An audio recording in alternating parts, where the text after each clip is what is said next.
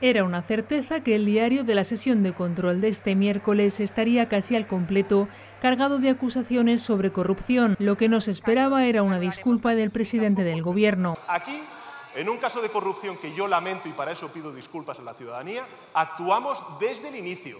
Pide perdón cuando, tal y como apunta el último informe de la UCO, solo se conoce la punta del iceberg del caso Coldo. Sobre este le ha lanzado Feijóo a Sánchez la primera pregunta de la sesión.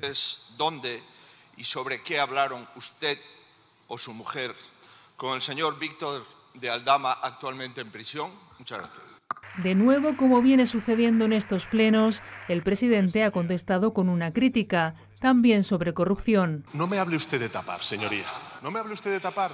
¿Somos iguales ante la ley? Por supuesto. Pero iguales ante los casos de corrupción, en absoluto. En absoluto, señoría.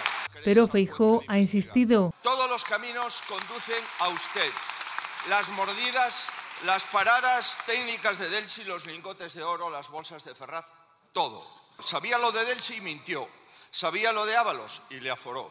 Una vez más, sin respuestas de Sánchez sobre una trama que podría tener múltiples ramificaciones. Ha lanzado, eso sí, una de las frases que tanto él como sus ministros repiten cuando se les pregunta por este caso. no todos los partidos somos iguales, ni todos somos iguales, señoría, ¿no? Este partido, en el Partido Socialista Obrero Español, quien la hace la paga. Ni una explicación de quién presuntamente podría ser el señor Uno, nombre en clave con el que al parecer se referían al presidente los miembros de la trama por la que se investiga a Ábalos. Señor Uno, las instituciones del Estado no pueden estar al servicio de su defensa judicial.